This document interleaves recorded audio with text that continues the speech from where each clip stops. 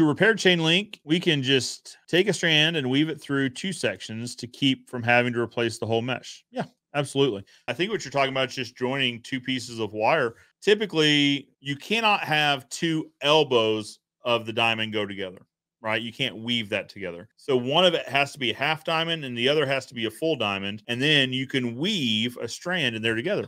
And as long as you knuckle it well, as long as you knuckle it right, you won't even notice the difference. So, like on a repair, that's typically what we would do. You know, if it's a cut portion of the fence, that's even easier. We would take out a couple weaves, weave in a couple more, and we're done. Or if it's a damaged portion of the fence, we would just cut out the back. We would unweave two strands right where that damage on either side of the damage. And we take a new piece, place it in, weave it back, tension the whole thing again, and you're done.